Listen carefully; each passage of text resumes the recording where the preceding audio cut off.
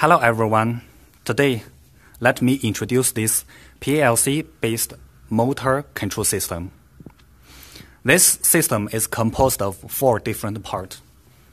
First one is the PLC. Second is the computer, which was connected to the PLC. And the third is the dSPACE. This is the dSPACE controller board. And this is the dSPACE I.O. board. This I.O. board will function as the interface between PLC and uh, dSPACE controller board. And the last one is the computer which was connected to the dSPACE. The connection between PLC and the dSPACE was realized through four wires.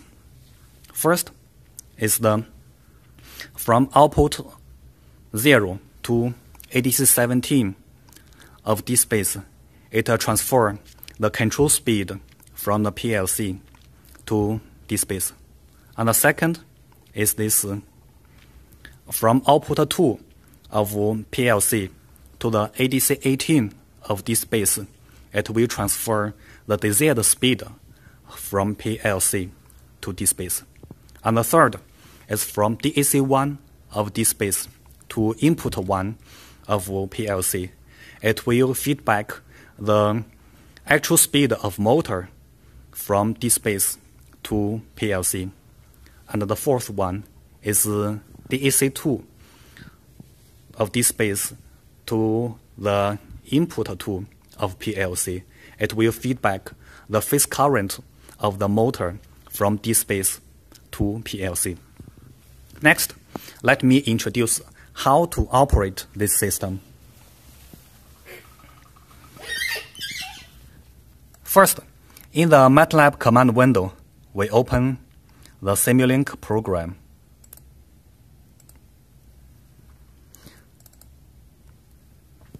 This Simulink program will be downloaded to the dSPACE device to simulate the performance of a DC motor. Here, this part is a second order motor model which, is, which will simulate the DC motor performance. And here is the ADC interface 17.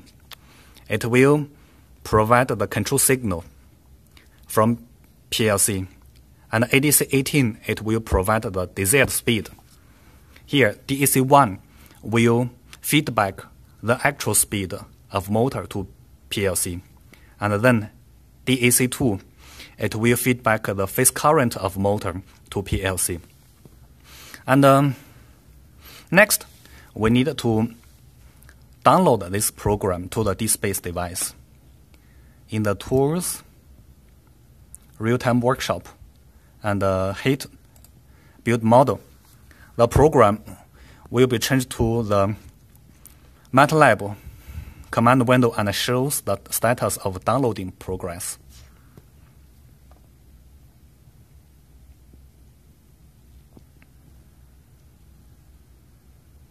After completely downloaded, we can open this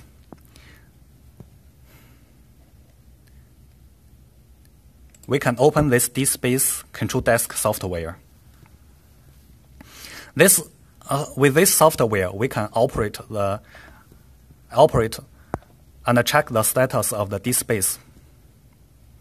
In the file, we open a variable file. Here, this SDF was the, is the variable file that was created when we download the MATLAB program to the dSPACE device. We open this variable file and then open a lab file. This lab file was pre-developed, so we just open it and run it.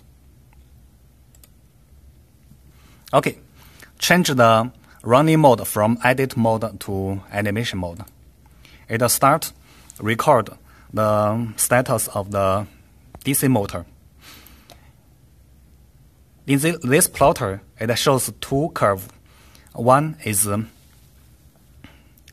motor ideal speed, which was shown as red curve, and the actual speed will be shown as green curve. And also it shows the value of desired speed, actual speed, control voltage, and phase current. In this capture window,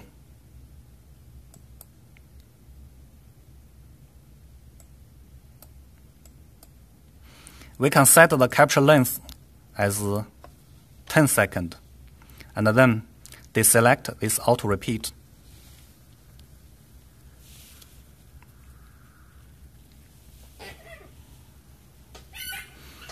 Next, let's switch to the PLC device. This is the PLC program, which will be downloaded to the PLC device. Here, this is the main program it is composed of three different uh, user-defined function blocks. First one is set speed. Second is communication. The last one is the controller part.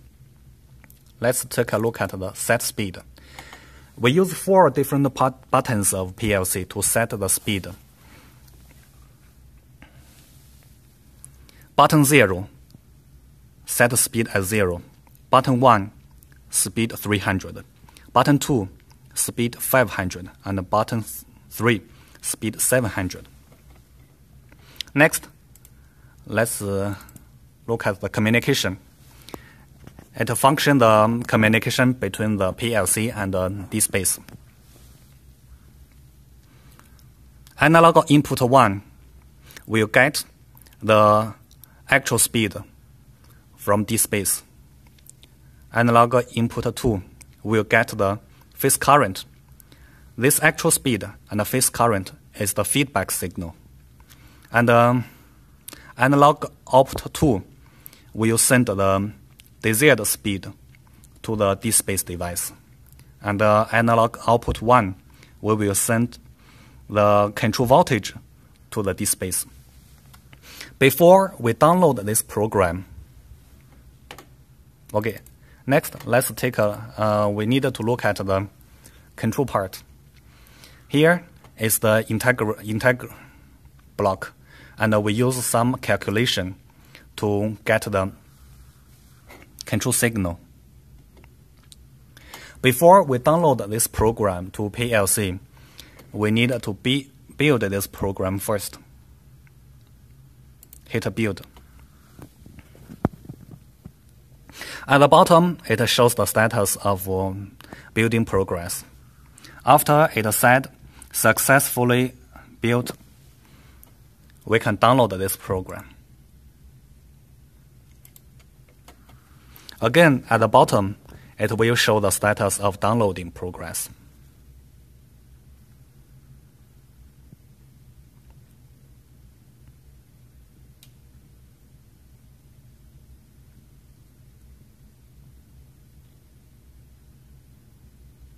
After it was downloaded completely, it asks us if we want to change the mode to running mode. Hit yes. So we can see the mode change from program to run mode. And then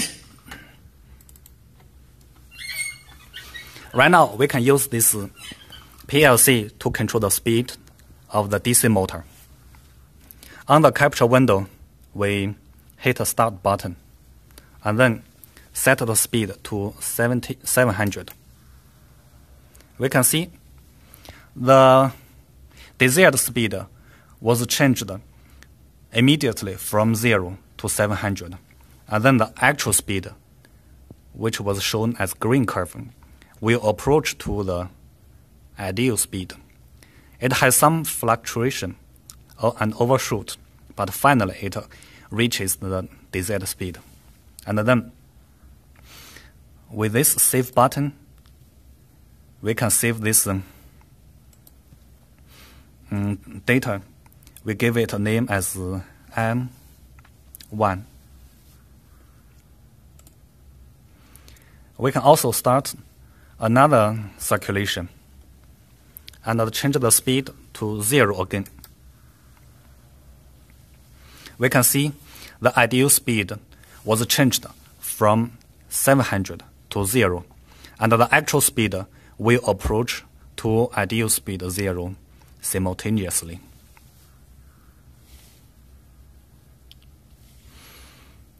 Okay, we can save